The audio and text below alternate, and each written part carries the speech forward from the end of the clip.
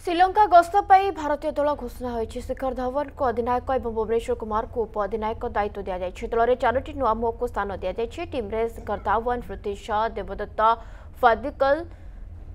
Rituraj Gaikwad Surya Kumar Yadav Manish Pandey Hardik Pandya Nitish Rana Ishan Kishan Sanju